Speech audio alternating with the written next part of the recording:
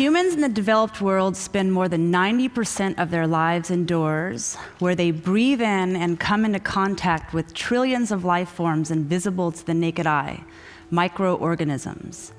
Buildings are complex ecosystems that are an important source of microbes that are good for us and some that are bad for us. What determines the types and distributions of microbes indoors? Buildings are colonized by airborne microbes that enter through windows and through mechanical ventilation systems, and they are brought inside by humans and other creatures. The fate of microbes indoors depends on complex interactions with humans and with the human built environment. And today, architects and biologists are working together to explore smart building design that will create healthy buildings for us. We spend an extraordinary amount of time in buildings that are extremely controlled environments, like this building here environments that have mechanical ventilation systems that include filtering, heating, and air conditioning. Given the amount of time that we spend indoors, it's important to understand how this affects our health. At the Biology and Built Environment Center, we carried out a study in a hospital where we sampled air and pulled the DNA out of microbes in the air. And we looked at three different types of rooms. We looked at rooms that were mechanically ventilated, which are the data points in the blue. We looked at rooms that were naturally ventilated, where the hospital let us turn off the mechanical ventilation in a wing of the building and pry open the windows that were no longer operable, but they made them operable for our study. And we also sampled the outdoor air. If you look at the x-axis of this graph, you'll see that what we commonly want to do, which is keeping the outdoors out, we accomplish that with mechanical ventilation.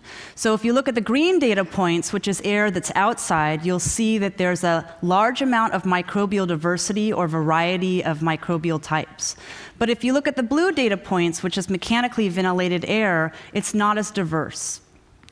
But being less diverse is not necessarily good for our health. If you look at the y axis of this graph, you'll see that in the mechanically ventilated air, you have a higher probability of encountering a potential pathogen or germ than if you're outdoors. So, to understand why this was the case, we took our data and put it into an ordination diagram, which is a statistical map that tells you something about how related the microbial communities are in the different samples.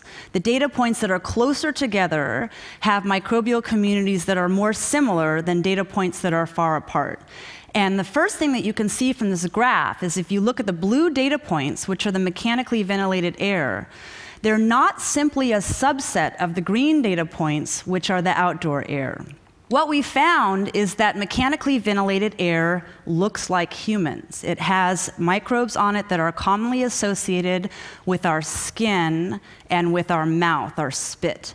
And this is because we are all constantly shedding microbes. So, all of you right now are sharing your microbes with one another.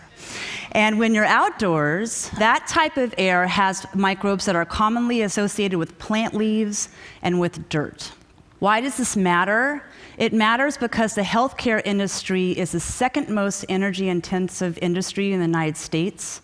Hospitals use two and a half times the amount of energy as office buildings. And the model that we're working with in hospitals and also with many, many different buildings is to keep the outdoors out. And this model may not necessarily be the best for our health. And given the extraordinary amount of nosocomial infections or hospital acquired infections, this is a clue that it's a good time to reconsider our current practices. So, just as we manage national parks where we promote the growth of some species and we inhibit the growth of others, we're working towards thinking about buildings using an ecosystem framework where we can promote the kinds of microbes that we want to have indoors. I've heard somebody say that you're as healthy as your gut. And for this reason, many people eat probiotic yogurt so they can promote a healthy gut flora. And what we ultimately want to do is to be able to use this concept to promote a healthy group of microorganisms inside. Thank you.